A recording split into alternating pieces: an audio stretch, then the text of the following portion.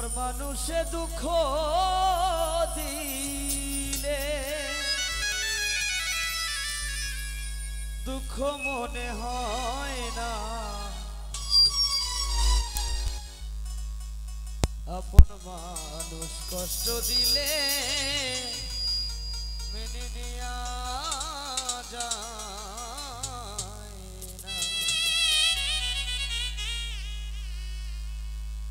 মানুষে দুঃখ দিলে দুঃখ মনে হয় না।